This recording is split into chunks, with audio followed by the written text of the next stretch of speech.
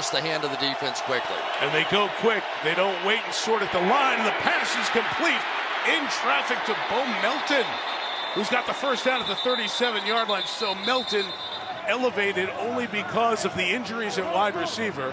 First-year man out of Rutgers with the grab and move the sticks. But watch this, Mike. Look how disorganized they are on the defensive side because of that quick snap and hurry up offense. Defensively, they didn't get settled, and that gave Love just a. As Minnesota showing that pressure as usual. And Love retreating, just getting rid of it. And caught by Melton. Well, Melton came across the field. He's inside the 35 and out of bounds at the 33.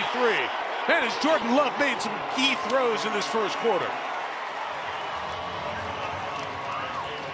First of all, a fantastic job in the backfield to come pick up this pressure. Then you're going to see Jordan Love back away from the pressure here. So, yeah, they're bringing a lot of people, but athletically, Love has the arm to be able to go back. Doubs in motion. Love flips it to the end zone. Touchdown! Bo Melton's got that one.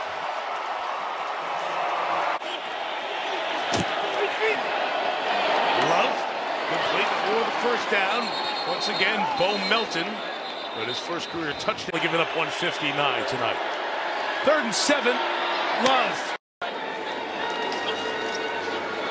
And Clifford's going to throw it downfield, and Melton is there, and he's got it. And he's pulled down at the 30-yard line. So Sean Clifford, who had only played five